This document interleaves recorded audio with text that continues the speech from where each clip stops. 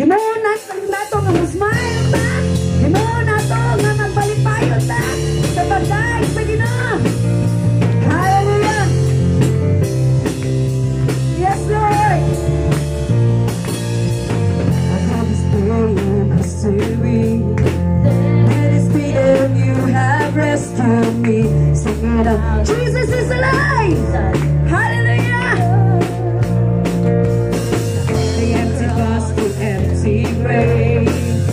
second turn, now you have one night.